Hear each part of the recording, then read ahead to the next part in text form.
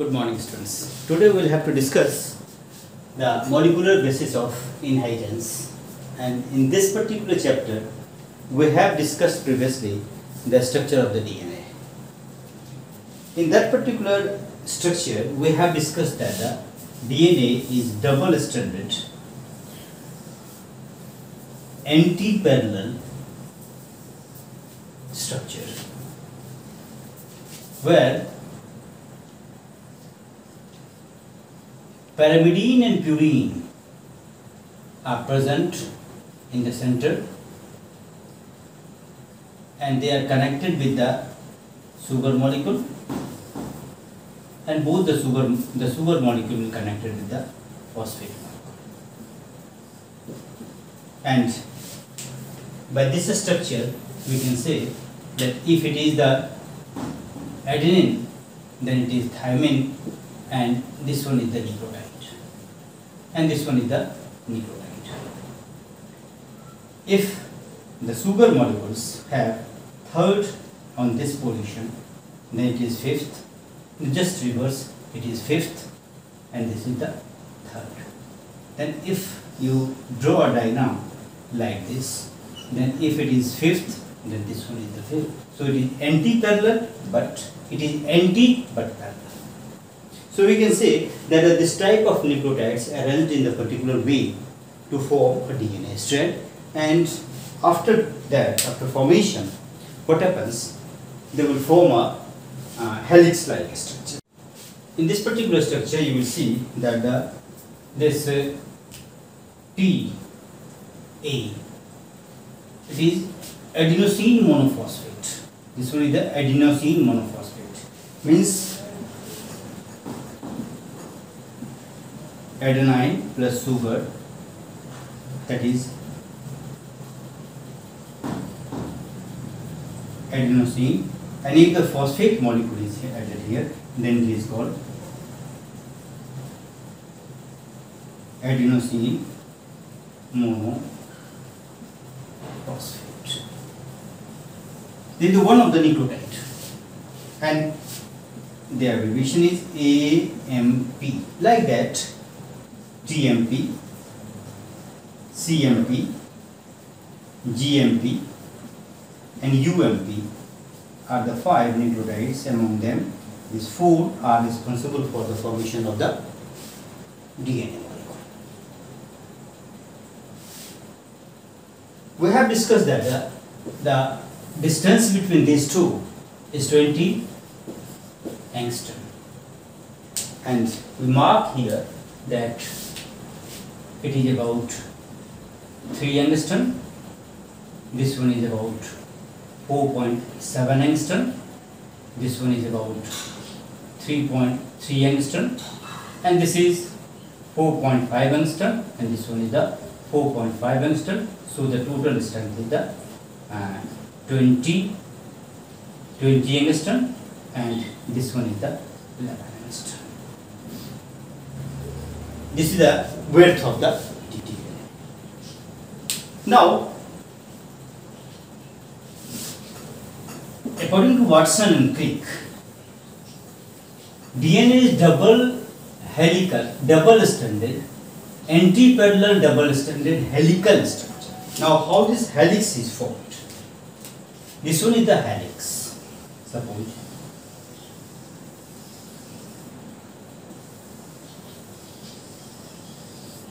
suppose this one is the helix. It is made up of the two strands one is this. Another is this. And in between these two this is called one helix. One helix. And the distance of this one helix is 34 angstrom and the Watson and Crick who do their work on the DNA, particular DNA, that is bDNA. bDNA, right-handed DNA, having 10 nucleotides, 10 pair of nucleotides. 10 pairs of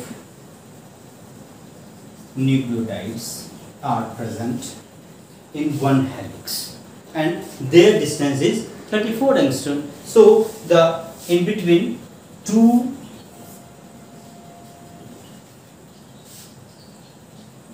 its distance is 3.4 angstrom. Now we will have to discuss the base pairing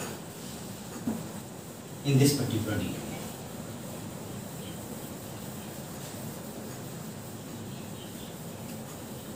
Base pairing. We know that adenine and guanine both are purine. Cytosine and thymine both are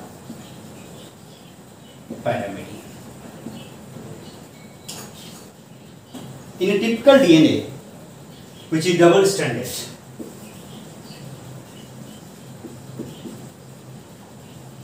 it should, be, should be double. It is in certain viruses it has been observed that the certain DNAs are single stranded also, but we are discussing about the double stranded. In double stranded here, stranded DNA, A is always paired with the T and having two hydrogen bonds. One is called alpha uh, pi bond and another is called sigma bond. One is called pi bond, another is called sigma. Any of you. Now in G, that is the word GMP, guanosine monophosphate, paired with the C, that is called cytidine monophosphate. Here, pi bond, pi bond, and sigma bond. It is also hydrogen bond. When uh, A with CS plus P, then it is called adenosine monophosphate. It is guanosine monophosphate. And this is called thymidine monophosphate and this is called cytidine monophosphate. Cytidine monophosphate. Dene, it means pyrimidine. Sine, it means purine. It means A and G is purine and C and T is the pyrimidine. So this is the base pairing. Now Chargaff's rule. Chargaffs have proposed a particular type of the rule pairing on the on in for the double stranded DNA and according to Chargaff's rule the A is always equal to T and G is always equal to C. A upon T is equal to 1. The same way G upon C is equal to 1. It means the number of A plus G is always equal to number of T plus C but it is not essential that the A plus T is equal to G plus C. It is not essential. It may be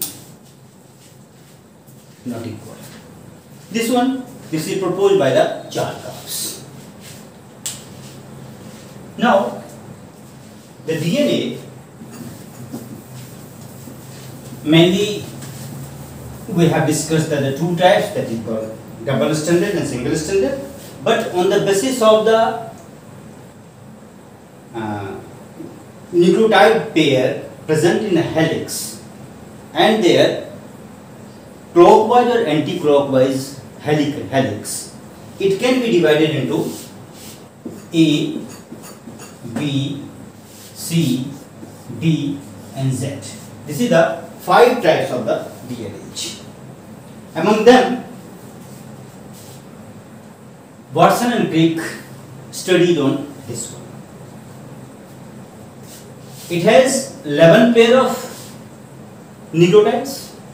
It has 10 pair of nucleotides. It has 9.93.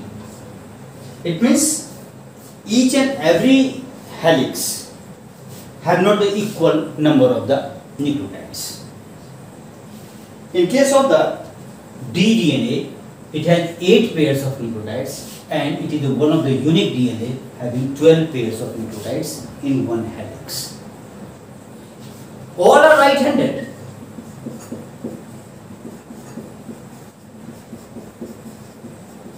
But it is left-handed.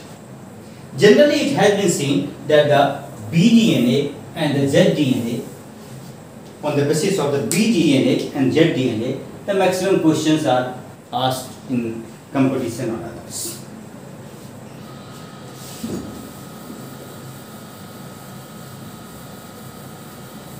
Now,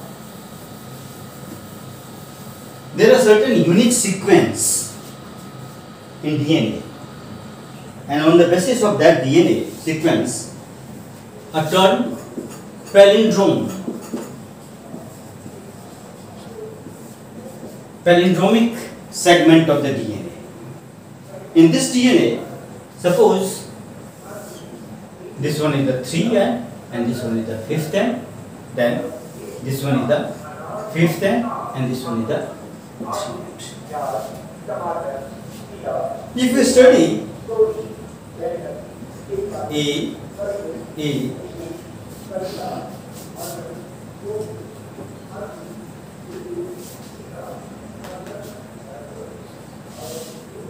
T, T, C, G, A, T, T. Suppose this one is the sequence of uh, nucleotides in one direction. Then what happens? Pairing A, T to A, T to A, A to T, A to T, G to C, C to G, T to A, T to A, A to T and A to T. We can see here that the when we move from 3 to 5 directions the A, A, T, T, C, G, A, A, T, T. Here you will see that the, again we, when you move from 3 to 5 direction, the same nucleotides are present here. This type of sequencing is called palindromic sequence and that will be used in the formation of the, um, in the study of the nuclear or the uh, genetic engineering. Now, we will have to study DNA is a genetic material. For this purposes, so many experiments have been performed and today we will have to, I am just going to discuss about the Griffith experiment. Griffith experiment. Griffith study on pneumonia coccus. And we know that the pneumonia coccus is of two types. One is the smooth pneumonia and another is the rough pneumonia. P. coccus is of two types, smooth type and rough type due to presence of the certain coat, this pneumonia is smooth pneumonia and this one is the rough.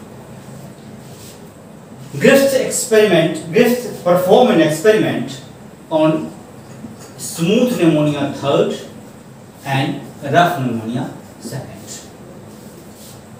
In addition of this pneumonia, uh, this pneumonia, coccus, he take the mice for the experiment and he start to perform this experiment. In first step, what happens?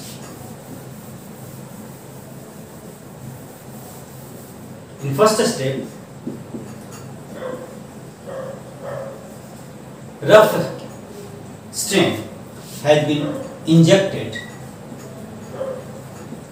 to mouse. mouse. what happens? No pneumonia. Because the smooth stem of the pneumonia is virulent and rough is non-virulent. It means smooth is a disease causing and rough is non-disease causing.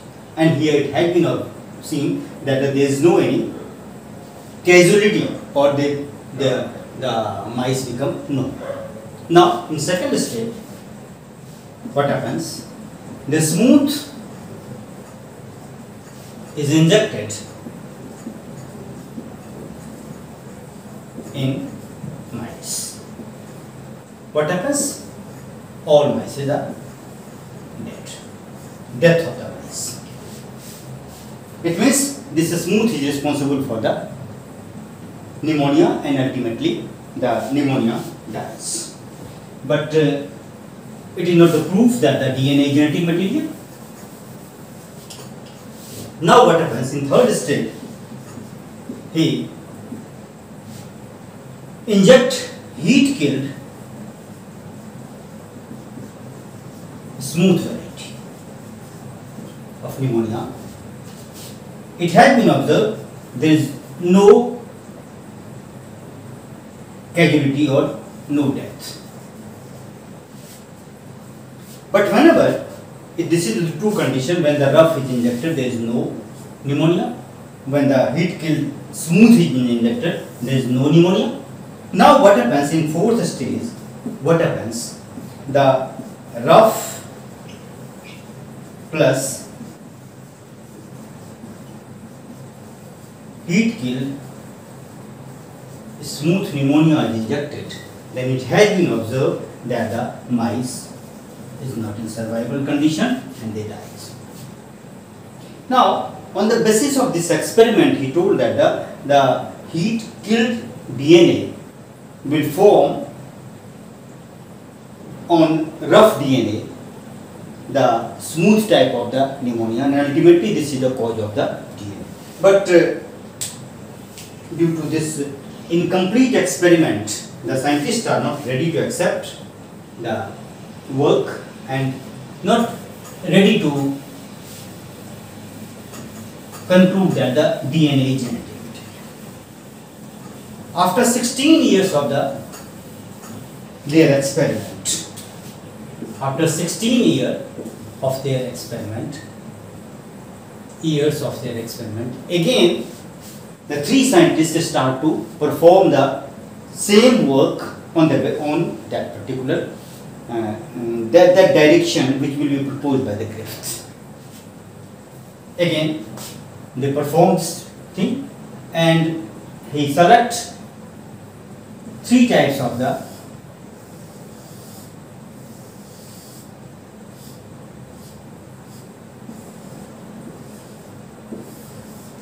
Now, rough,